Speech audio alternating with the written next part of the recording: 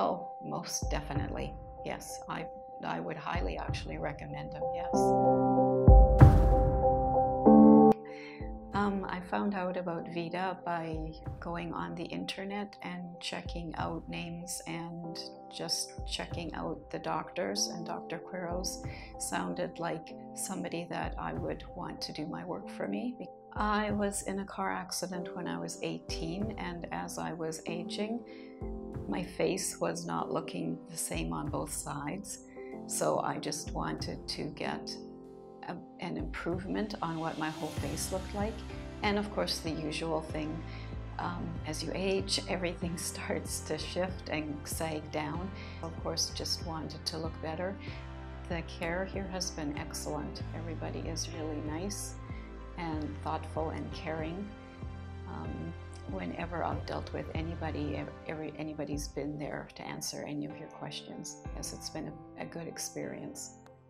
Again, the word that comes when I think of Dr. Quiroz and talk to him, he's just very, again, very charming, very calming.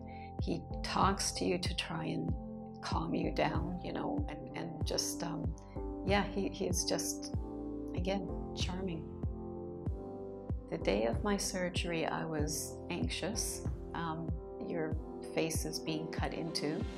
You, of course, are concerned and you're hoping that everything will go right. Um, but it went well, really, really well. And Dr. Quiroz was just excellent. He's very calm and reassuring, very professional. I was very surprised. I woke up expecting to feel like immediate discomfort, but I, it, it really wasn't. And you know, you you get put on antibiotics and on painkillers, but it's nothing, nothing that you can, like that's really painful. It's, there's, I was surprised. Actually, I was shocked. I, I figured there would be like, you know, instant pain and my whole face would really hurt but it, it doesn't. You just have to be very careful with your movements and um, just take care of yourself. Um, I would just say if you really want to get something done and the fear is stopping you, um, again, I was really surprised over how he reassured me, how Dr. Quiroz reassured me. And um, it was just, yeah, it's absolutely amazing how much it didn't hurt and I thought that it would be, you know, painful. You take your pain meds and just keep up with the routine of what you're supposed to do and everything just sort of falls into place.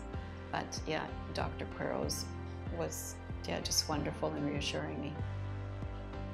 Oh, most definitely. Yes, I, I would highly actually recommend him. Yes, it, he did an excellent job.